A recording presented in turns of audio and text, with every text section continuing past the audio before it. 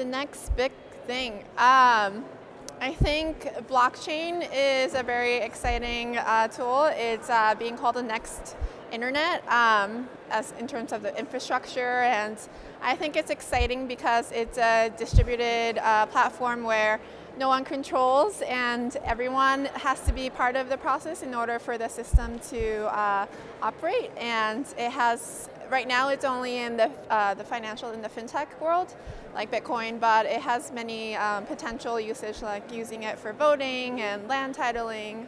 Um, and I think that's really exciting.